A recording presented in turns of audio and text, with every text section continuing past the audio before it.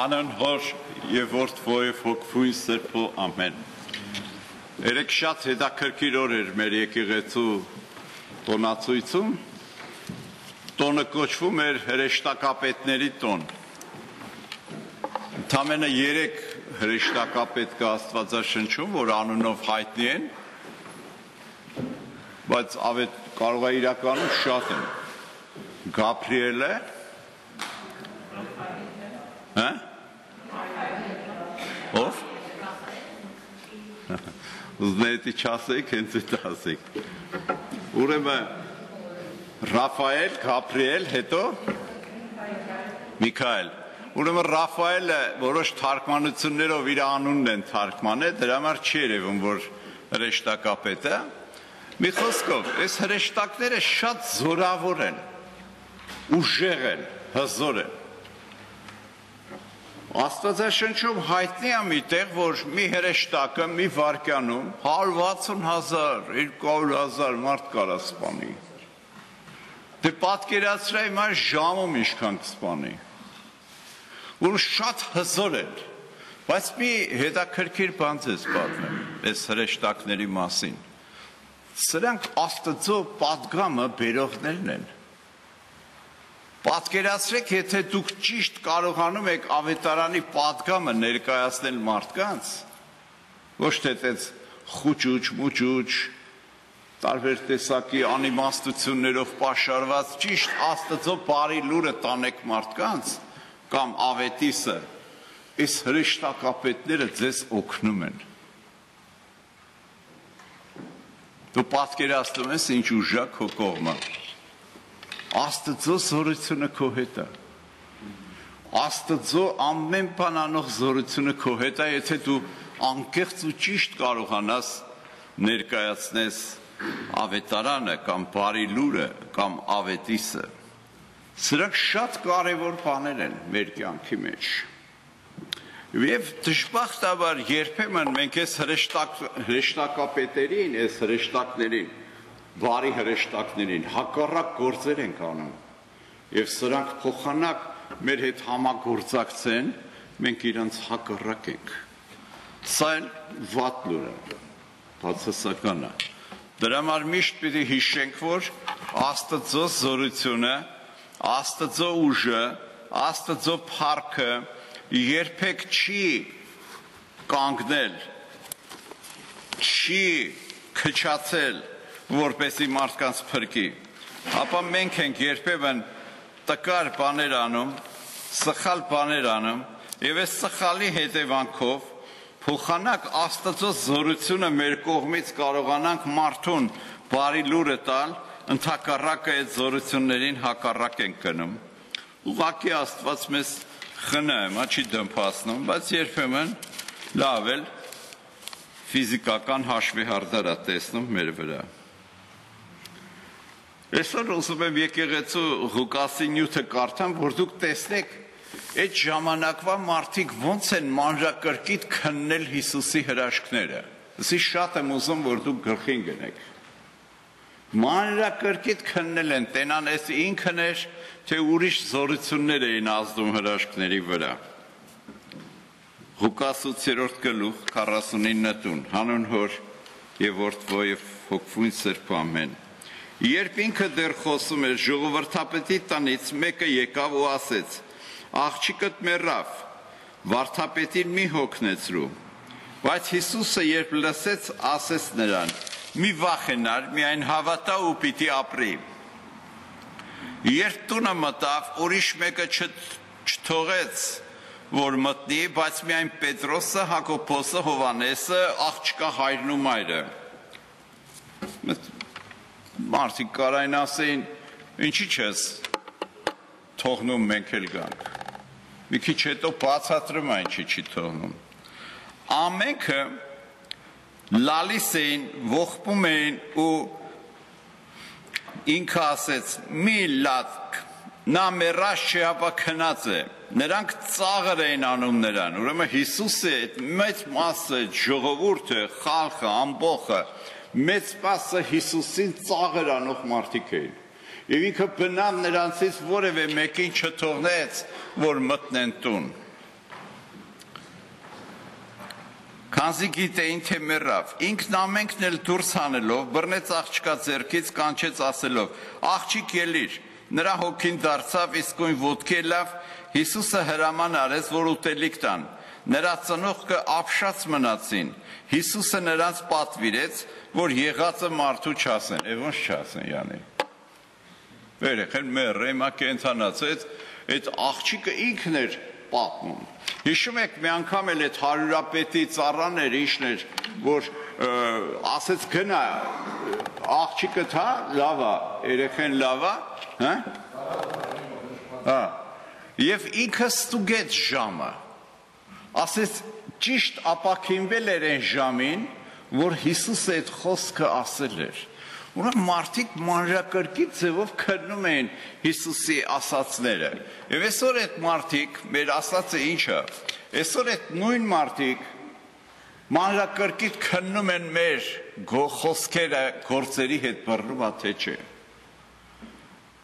Մանրակրկիտ կերպով քննում են մեր ապրած կյանքը, որպեսի վստահեն արդյոք մեր խոսքին թե ոչ։ Սա շատ կարևոր բան է քրիստոնեական պատմության մեջ։ Ամբողջ քրիստոնեական պատմությունը լեփլեցուն է քրիստոնյաների վկայությունով, բայց հայտնի է, որ այն մարդկանց վկայությունն էր կենթանի ու գործունյա, ներգործող,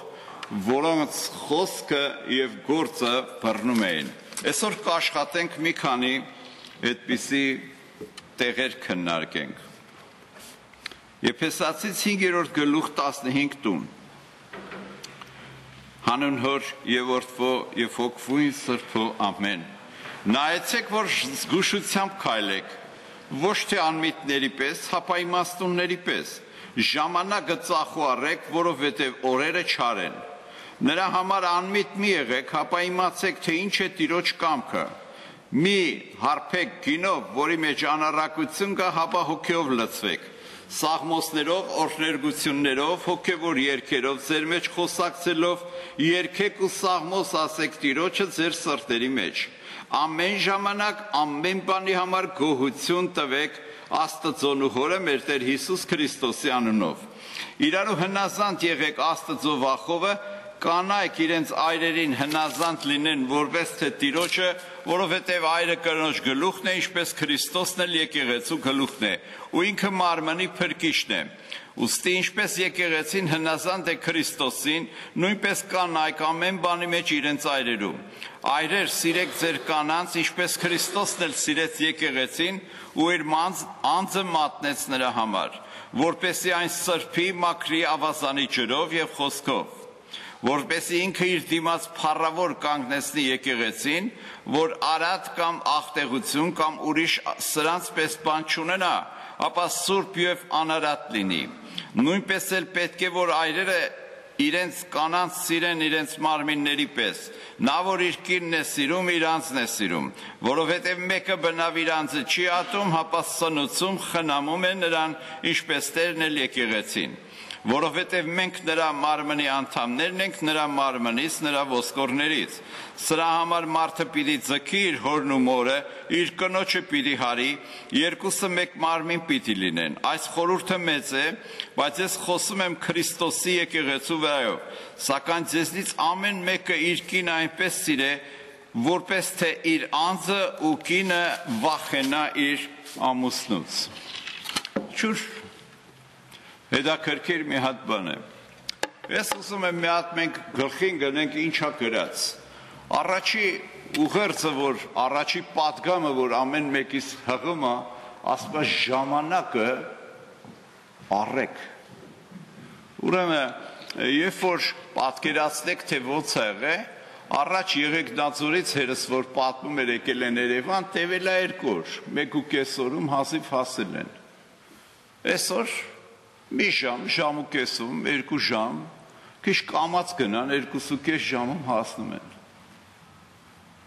Առաջ Ամերիկա հասել են, հաշվեք, ասենք թե շոքենավով 10 օրում, 7 օրում, 12 օրում, այսօր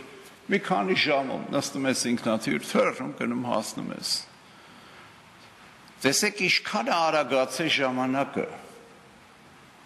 Եվ ժամանակը շատ բարդ բան է։ Օրինակ ես այսօր ուշացումով եկա այստեղ։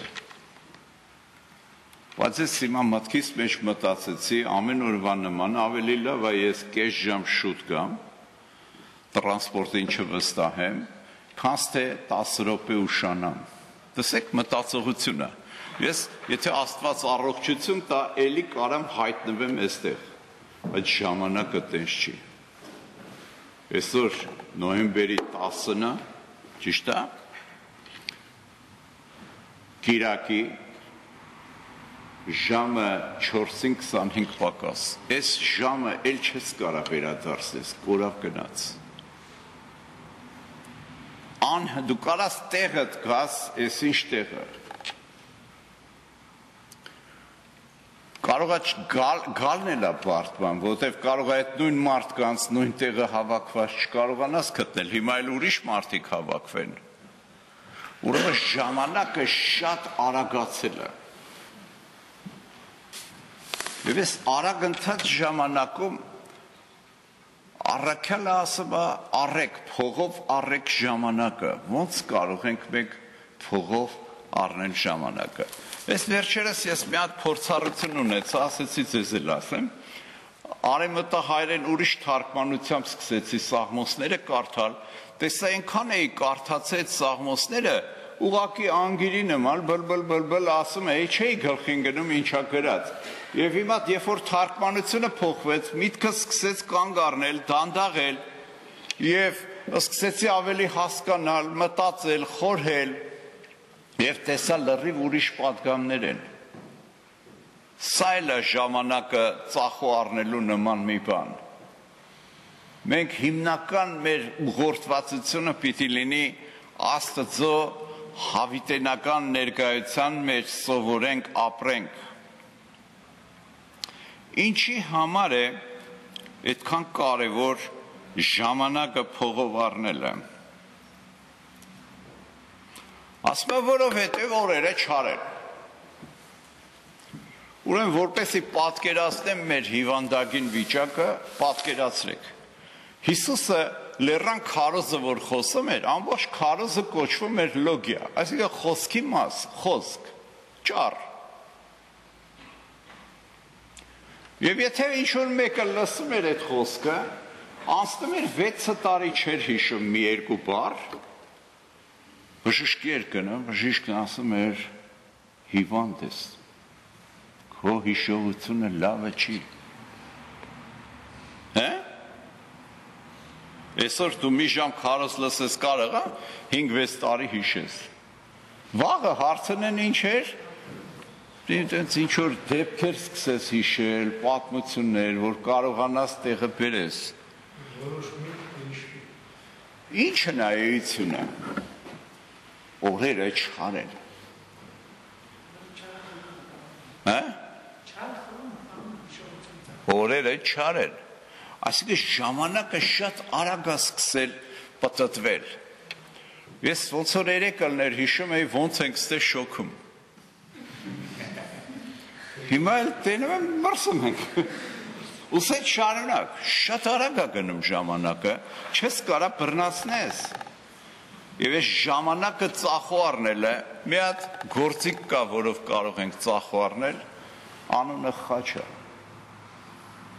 Այս աշխարի համար, այս մեր ժողովուրդ մի հատ գեղեցիկ բառ ունի, ալամ աշխարհը ասեմ, չէ, ամբողջ աշխարհի համար քո անձդ մեռած համար ես,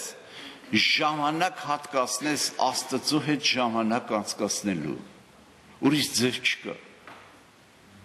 Այնօրը մեր քույրերից մեկը ասեց ժամանակ չունեմ աղոտ կանելու։ Հիշում եք այդ պատմել եմ։ Ասացի լավ, առաջ լվացքը ձեռով էի կանում, չէ՞։ Հա։ Ինչքան ժամանակ էիք ծախսում։ Ասում եմ, «Էլ մի ասա»։ Հիմա մեքենան անամ, այդ լվացքի ժամանակը մի ժամը, երկու ժամ աղոտ կարա։ Չէ ասма, ճիշտ է լվացքի մեքենա ունենք, բայց էլի ժամանակ չունենք։ Պետք է առնես։ Դե ինչ որ զողողություններ անես։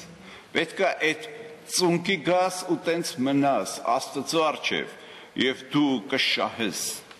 Ինչի համար ենք մենք աղոտ քանում։ Ասма դուք ուշադրությամբ քայլեք, անմիտների պես մի եղեք, հապա իմաստունների պես ժամանակը ծախուարեք, որովհետև օրերը չար են։ Դրա համար անմիտ մի եղեք, հապա իմացեք, թե ինչ է Տիրոջ կամքը։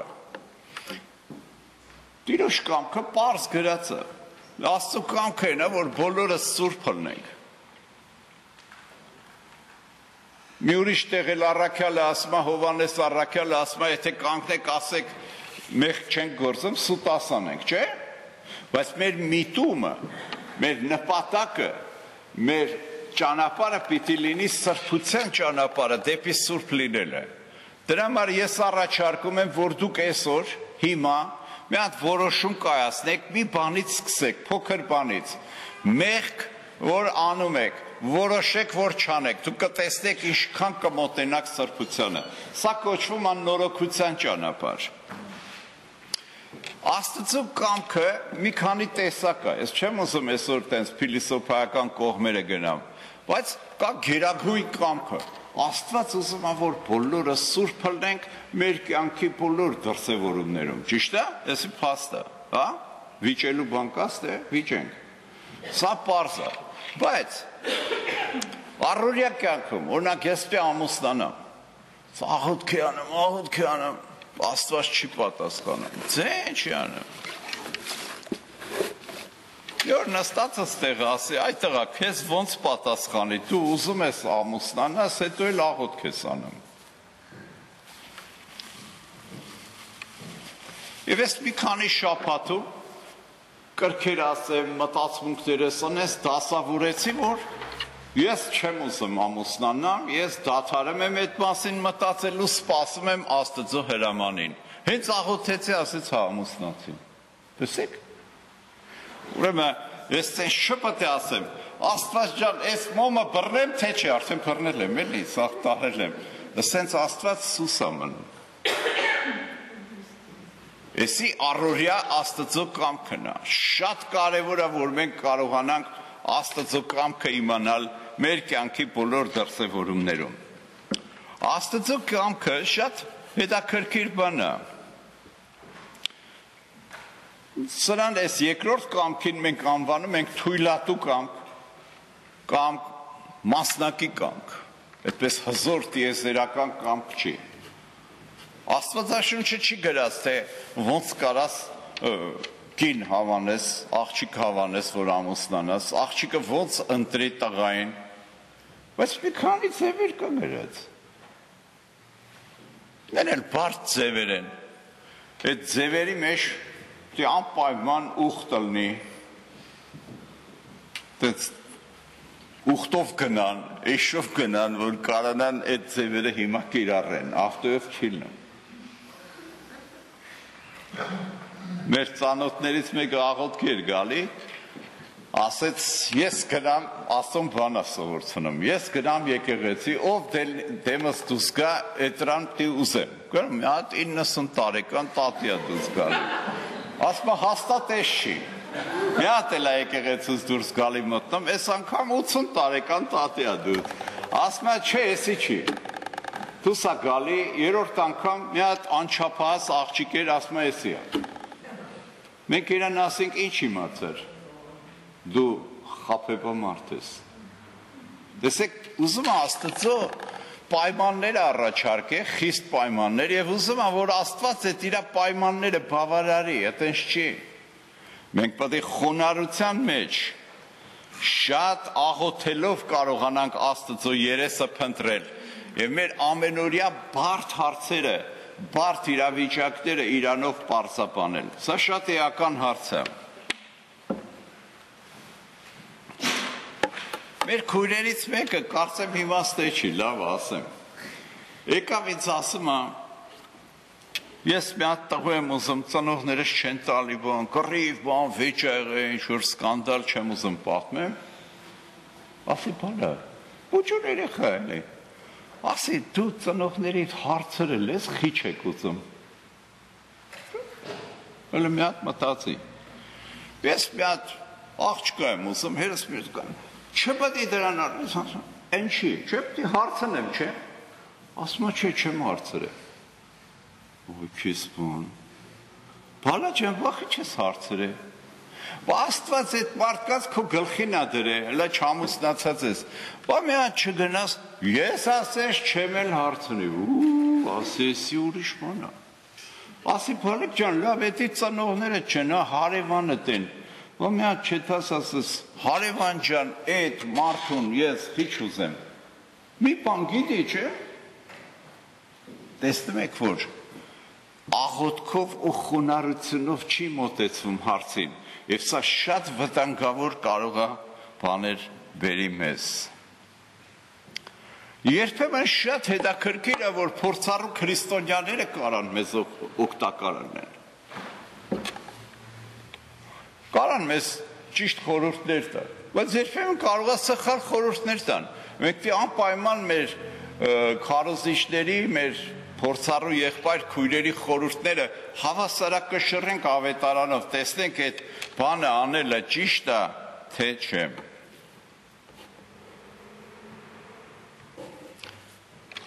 Հաջորդ Աստծո մասնահատուկ կամ թույլատու կամքը իմանալու ձևը երրորդը սա է, որ մենք պետք է Աստվածաշունչը կարդալով ու աղոթելով փնտրենք Աստծո կամքը։ Ես հիվանդացել էի դες ծանր, ասում էի Աստված ջան, ես էլ այդ մեր այդ ջահել տղուն նման ախմախ բաներ էի աղոթում։ Ասում էի դու պետք է խոսաս, ես լսեմ։ Բայց մի բան կար մոտս, խեղճացել էի, են Եզեկիային ման գլուխս թեքել էի պատիկողքը եւ աղոթք է անում եւ Աստվածաշունչ էի կարդում։ Մի կերպ մի հատ համար խփեց սրտիս։ Աստված ասեց Համլետ, նայի քո հետ ուրիշ ձևի չեմ խոսալու։ Ոնց որ Ջեմայի հետ։ Ջեմային ինչ կա։ Աղոթք անում, քնում այր համար, երազում աղոթքի պատասխանը տեսնում եմ։ Ես պետք է մարտան չեմ, պետք է կռիվանեմ։ Դե աղոթեմ, պետք է իմանամ Աստված ինչ ասում Աստծո խոսքով, հետո այդ խոսքը պետք է աղոթեմ Աստծուն տենամ, այդ ճիշտ է թե չէ, իրական քնա թե էդի տենց երևակայությանս հայերեն այսօր ինչ եք ասում դրան այդ երը վնուշկեքի արդյունքա, հա, տենց եք ասում, չէ։ Այսինքն երևակայության արդյունքը թե իսկապես աստվածային կամքի դրսևորումը։ Սրանք շատ կարևոր հարցեր են։ Եվ այս ծևի ես կարող եմ իմանալ Աստծո խոսքը։ Ասեց Համլետ Աստված։ Մնացածը կարդացի Աստվածաշունչում։ Քեզ միայն Աստծո խոսքով պետք է իմ կամքը հասկացնեմ։ Չեմ հիշում եք թե չէ ժողովրդը ժողովրդի այնօրը մտածում էի դրա մասին շատ հետաքրքիր բան է ժողովրդի հիշողությունը հիշողությունը շատ փոփոխական օրինակ կոմունիստների ժամանակ ռուսները որ զորք մցրին Հայաստան կարծեմ թե 40 թե 39 մարդ սպանեցին ես էլ բան եմ տենց զինվորական կրթություն եմ ստացել եւ բանակում ծառայել եմ երբ որ դուրս եկա երրորդ մաս տեսա ես թնդանոթները ուղղել են բնակելի տարածքի վրա ես չեմ այն ասի չեմ ասի անհնարը բանակում եթե դու հրացանը մեկի վրա ուղես դատում են դատեր կա հրացանը տանկը անհնար է այդ իր ուղղությունը բռնի բնակելի շենքի վրա սրանք Երևանը խփելու են Եվ այդ ժամանակ գիշերները մենք հավաքվեցինք աղոթելու։ Մի օր շատ ծանր էր, շատ վատ բաներ էին, լուրեր էին հասնում, կարծեմ 89 թե 90 թիվներ, ես տենց լավ չեմ հիշում։ Ես չեմ այն ասենք հələ պարկի քնիտես մենք աղոթում ենք մի ժամ ինչքան պարկեց վեր կացա մի հատ երկար պատմություն պատմեց պատմության իմաստն էր որ այս Ղարաբաղը անկախանալու է միանը Հայաստանին եւ էստի Հիսուսի գալստի մեծ նշան առնելու ես Հիսուսի գալստը կարող է երկրորդ գալստը չլինի ուղակի չեմ անում ինչ լինի Այդ օրը սաղս ծիծաղինք, ռսները հարցակվել են հայերի վրա, ջարդու փշուր են անում, Չեմ ամ հիշում եք թե չէ, դե Շահումյան, Մահումյանն է, տենց ախագի շրջաններ, տվին, ջարդին, սպանին։ Բայց հայրը հայկական հիշողությունը սենց է։ Մեր միակ փրկությունը ռուսն է։ Ոչ։ Մեր միակ փրկությունով է Աստված։ Ռուսը տղա էլի, մեկ է կտենաս իր շահը, թուրքը ասեց ախպեր, այսքան միլիարդ քեզ փող կտամ, այսքան միլիարդ էլ պարտ կլնեմ, արի այս հարցը լուծենք։ Կլուծեն։ Մեր հույսը պիտի միշտ Աստծո վրա լինի։ Եվ այդ ծևի պիտի լինի նաև մեր ընտանիքի հույսը։ Ոչ թե սրա նրա վրա մենք հույս տնենք, որ կարա այս կործանի, ապա մեր հույսը անպայման պիտի Աստծո վրա դնենք եւ Աստված կարող է մեզ փրկություն բերել բայց ժողովրդի հիշողությունը շատ մազալու բան է։ Մի հատ ժողովրդական հիշողություն պատմեմ ձեզ։ Ուրեմն 1918 թվին Հայաստանը անկախացավ։ Դաշնակցական Հայաստան ենք ասում, երբ որ փոքր ենք։ Այդ ժամանակ կատաստրոֆա եղավ Հայաստանում։ Արևմտյան Հայաստանից 350 հազար գաղթական հայեր լծվեցին Հայաստան Ճիշտ ասած, մեր ժողովուրդը այդքան էլ լավ չէր ապրում։ Դրանով ավելացրին այդ բանը հայ ժողովուրդն էլ այդ ժամանակ ընդհանրապես անկախության մասին խաղապար չունեն։ Որոշ մարդիկ վեր կացան պայքարեցին այդ նորա անկախ մի քանի օրվա Հայաստանի դեմ։ Ծանր ֆինանսական, տնտեսական, քաղաքական վիճակ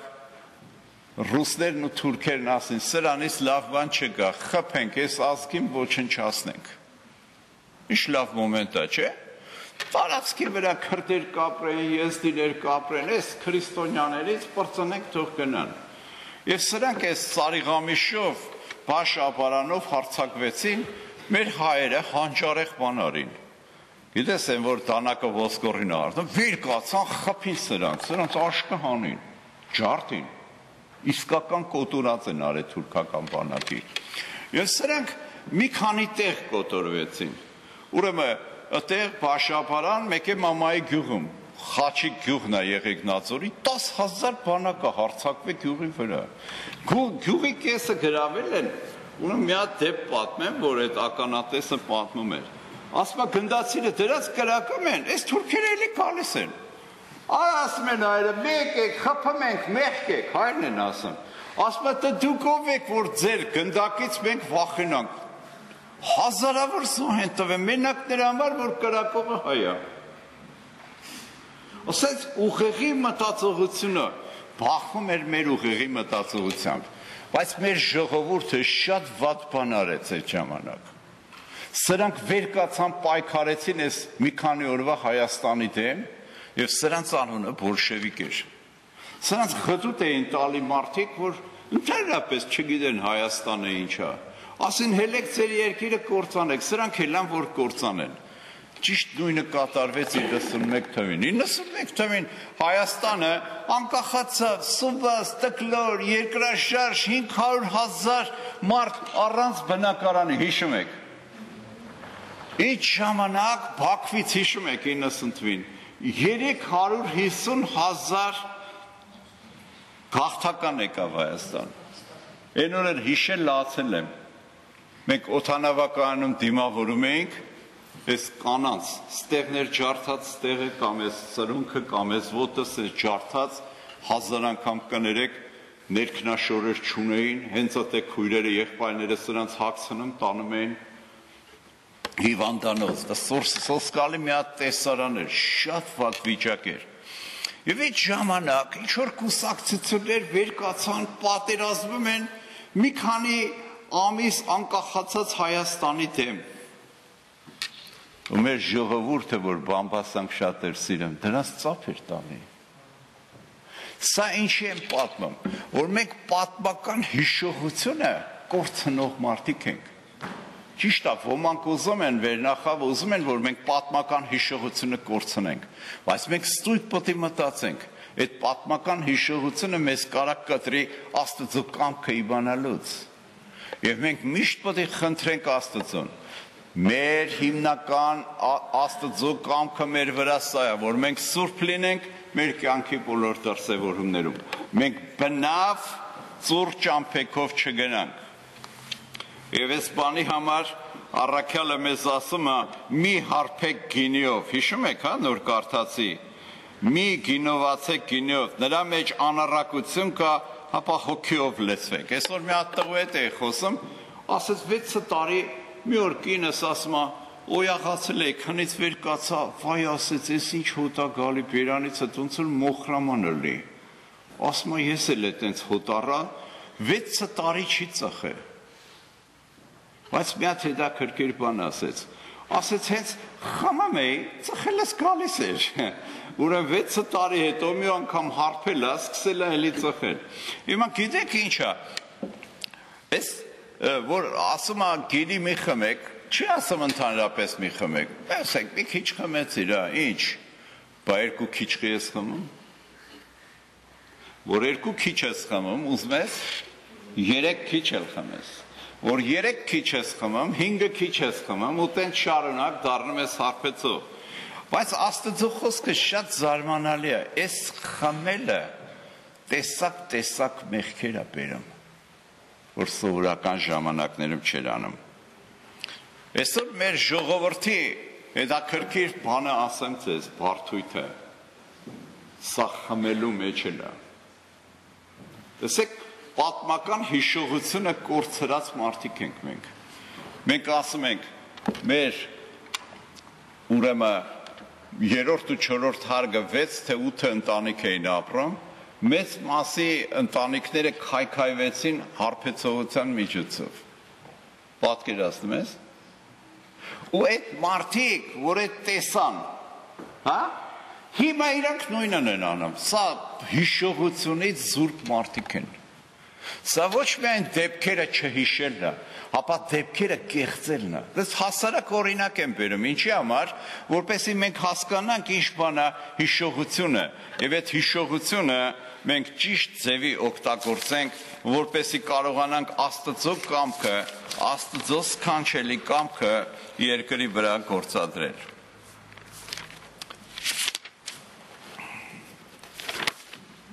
Այսօր ուզում եմ այս կարճ քարոզը ավարտեմ մի հատ հետաքրքիր պատմությունով։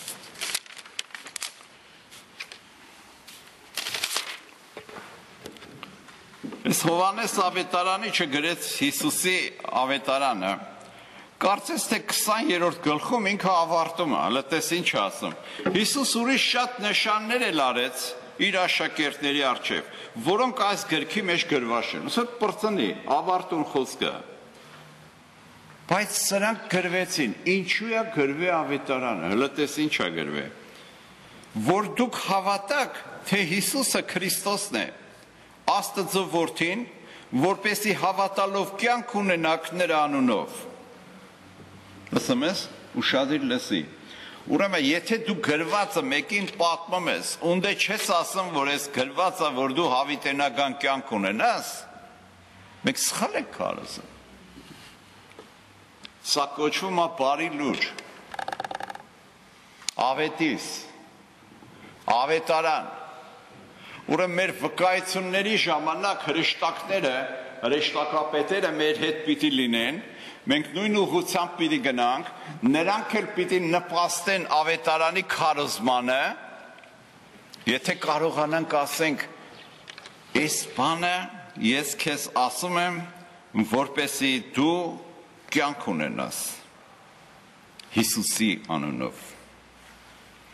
Ինչա նշանակում դու հավատաս, որ Հիսուսը Քրիստոսն է։ Ուրեմն դու պետք է հավատաս, որ հին ուխտում քարոզված փրկիչը Մարիամի տղանա Հիսուս Քրիստոսը Եվ ինքը մեռավ ու հարություն առավ եւ նրա անունով այսօր քարոզվում է մեղքերի թողություն։ Նրան ամեն հավատացողը չի կորսվելու, հապա հավիտենական կյանք ստանալու։ Սա դիլնի մեր քարոզի առանցքը։ Եվ հետաքրքիր է, որ այստեղ ավետարանի չելի շարունակում է։ Կարծես թե մեզ ուզում ասի,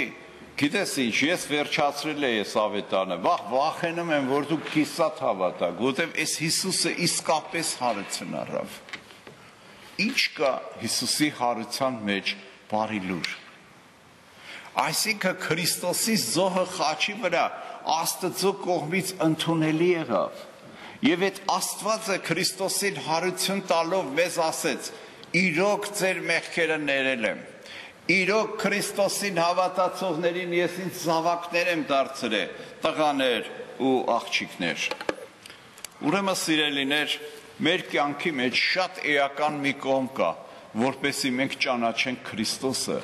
ճանաչենք Քրիստոսի հարության զորությունը, կարողանանք իմանալ Աստծո մշտական հարատև կամքը եւ իմանանք Աստծո այսօրվա պահանջվող արժամանակյա կամ փոփոխական կամքը, որ մենք կարող ենք ընտրել։ Օրինակ, ես կարամ այսօր քարոզի գամ, կարամ չգամ։ Էսի իմ ընտրության հարցն է, բայց